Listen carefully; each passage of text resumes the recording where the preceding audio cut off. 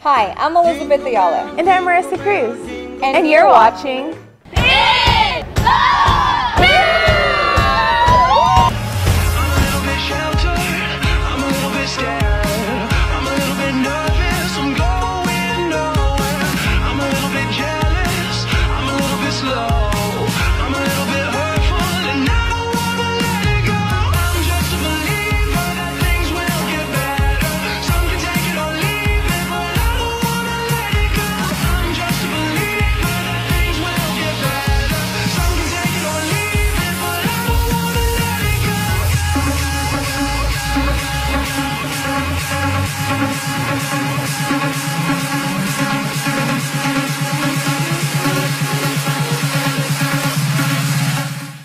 Talents will be showcased and will be filling the auditorium stage this Friday. The day will run on an assembly schedule and the 2014 talent show will take place after 7th period. Students will be flashing their voices as they tune into songs or break out into dance moves. We had field reporter Vanessa Quijada catch up with some participants for more information. Hi, I'm Vanessa Quijada In the News at CHS, here with Brianna Johnson and Jalissa Silva, interviewing them about uh, this year's talent show. So, how have you guys been preparing? Um, I've just been practicing with my brother, like after school. And I've been practicing at home with like the music in the background. And what are you guys doing for this year's talent show?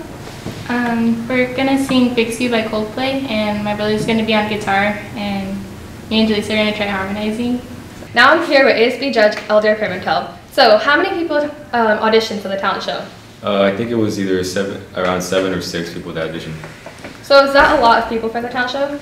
Uh, well, we needed around um, 13 or 12 people to audition, but since there wasn't enough acts to audition, what we're gonna do is we're not gonna have a talent show here at, at the school, like the school people competing with each other. So instead, what we're gonna do is we're gonna choose um, the top two people that audition, and they're gonna be the people that are gonna travel to the WSL talent shows uh, that are gonna be in other towns, like in Firebaugh and Avenal. And so instead of um, having everyone that audition be in the talent show here at school, they're just going to be traveling around. Okay, thank you.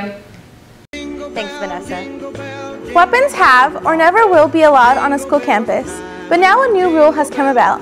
A sudden rule is being enforced where any possession of a knife will bring serious issue to the students violating this rule. The school has begun and continues to highly stress this new rule, so we had field reporter Christy Burke speak to Mr. Hardig for more information on the sudden rule. Hi, I'm Christy Burke with In the News at CHS, here interviewing Mr. Hardig about the knife rule. So, Mr. Hardig, can you explain the knife rule to us? Well, simply put, no knives are allowed on campus, uh, both by the Ed Code and by uh, California state law. So, uh, knives are not allowed. It's always been that way. So, why is this just being stressed now? Have there been any incidents recently? Yeah, in the past, we, we've had several instances every year where knives have been brought on campus, but this year it's been especially uh, out of control. It's kind of an example of some of the knives we've taken off of kids this year. We go from the small to a little bit larger to a little bit larger to not sure how to explain that one, but it's a double blade or double yeah double bladed knife to get even even more dangerous and more deadly to ugly things like this and even a, a, razor box cutter. And because of incidents that have happened in other schools in recent past with where knives have actually been used, we want to try to crack down before that happens. And so that's why we're coming out with really a zero tolerance policy. Thank you, Mr. Hardig. Mr. Yeager asking him about the knife rule. So, what would you do if you saw a knife with one of your students? If I'm just casually walking by and I happen to see a knife in, you know, a bag or, you know, hanging out of a student's pocket, uh, the first thing I would do is separate that student from the rest of the group because that's a potential threat.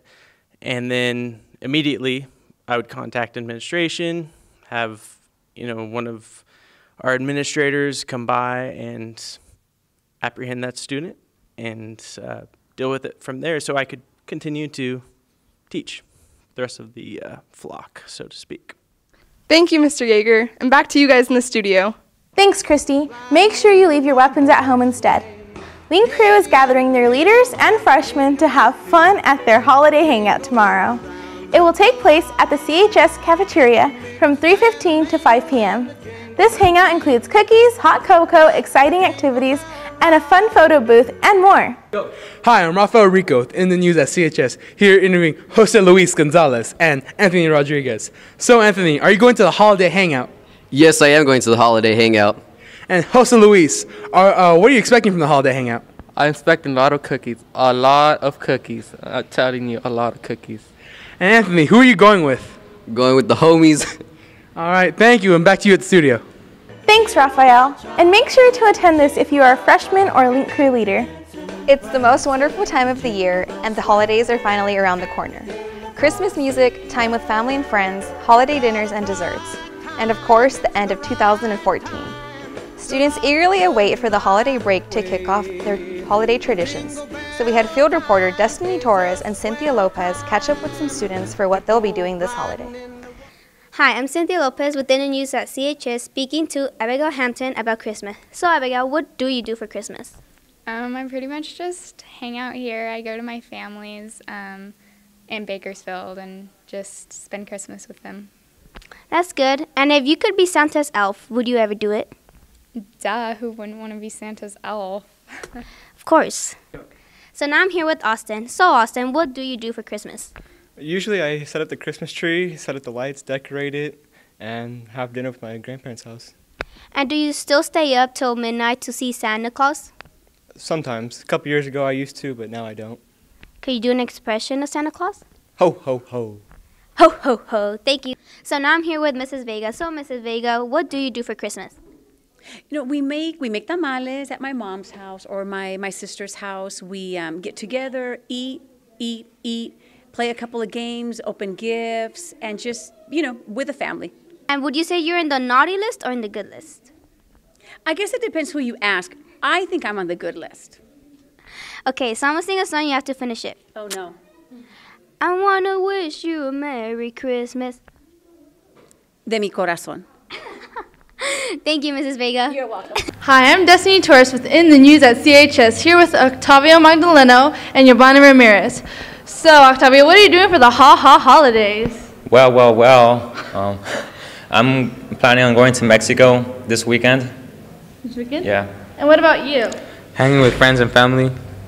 Now I'm here with Jake Rosar and Alex Villanueva. So, Alex, what is your favorite part of Christmas? My favorite part of Christmas is spending time with my family. And Jake, are you going anywhere special during winter break? Um, I'm going to New York, and I'm going to be there for a week, and I'm also going to get to see the ball drop while I'm there. Ooh. Wait, Mused! Mused! okay, so I'm going to ask you a big question. Do you believe in Santa Claus? Absolutely not. Do you feel bad because you don't hear bells ringing? School bells only. And back to you guys at the studio. Thanks, Destiny and Cynthia. We wish everyone a great holiday season. And now we'll go over to Isaac Lucero with this week's Horn Toad Highlights. Hi, I'm Isaac Lucero with this week's Horn Toad Highlights.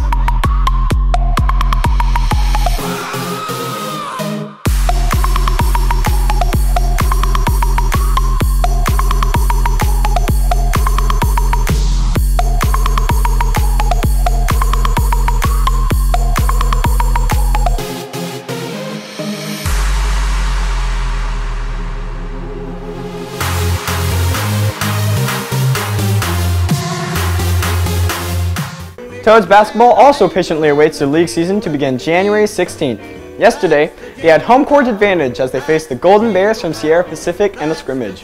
We had field reporter Cassandra Garcia catch up with some players after the game for more info. Hi, I'm Cassandra Garcia with In the News at CHS, interviewing Cade Stone and Tristan LeBee.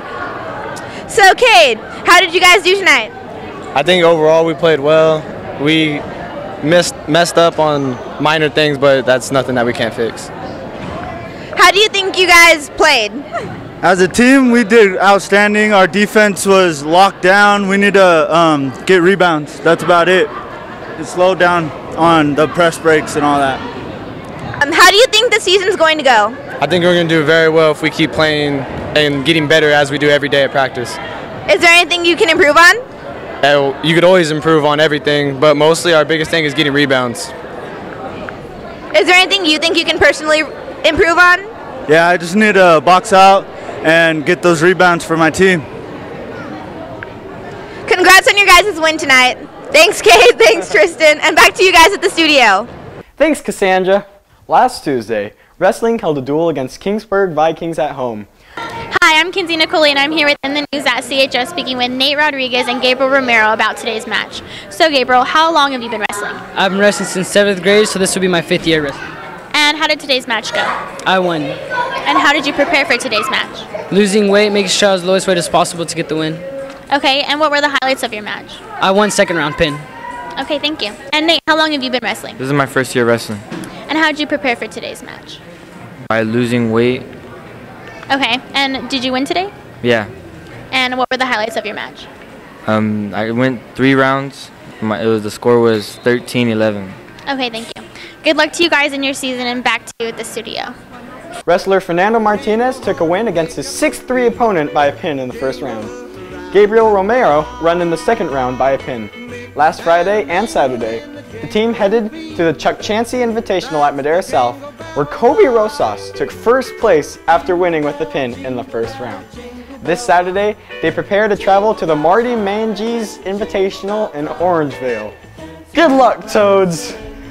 Ladies Toad Basketball unfortunately lost in a three-day tournament in Kerman that took place last Thursday through Saturday. The girls lost both Thursday and Friday, but came close in many games. Their top scorer, Miranda Amaro, helped maintain the close scores.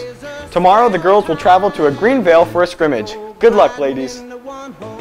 Girls soccer has continued practicing after an unscheduled week with no scrimmages. They continue to patiently wait their official league season that will begin January 13th. Today, the girls will travel to Caruthers for a scrimmage to face the Blue Raiders, led by captains Brogan Gonzalez and Sabrina Ruiz.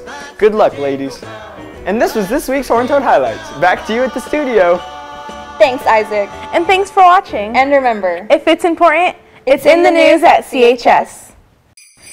and, from ROP Multimedia, Happy and